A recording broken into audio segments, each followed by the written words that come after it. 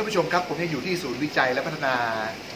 สัตว์เลี้ยงน้ำจืดนะครับ เป็นเขต9จังหวัดชัยนาทวันนี้ทั้งวันนะครับเราได้รับความรู้ที่ได้รับการเติมเต็มในเรื่องของการบูรณาการที่อยากจะศึกษาความรู้ตั้งแต่เรื่องของการเพาะเลี้ยงการเตรียมดิน การเตรียมน้ำแล้วก็โรคที่เป็น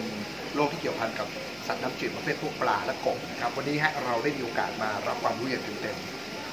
เห็นตั้งแต่ทฤษฎีจนถึงภาคการปฏิบัตินะครับพรุ่งนี้ฮะเราจะมีการเรียนรู้เรื่องของ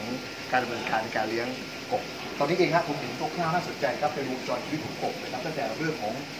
ไข่กบนะครับมาเป็นลูกออสอายุประมาณ 3 วัน ตลอดจนลูกออสอายุ 15 วันนะครับลูกออส 15 ถึง 20 วันเริ่มมีขาหลังแล้วนะครับ แล้วก็ลูกกบที่มีอายุ 20 ถึง23วัน ขึ้นไป อันนี้คือเริ่มหายใจทางปอดแล้วนะครับยังมี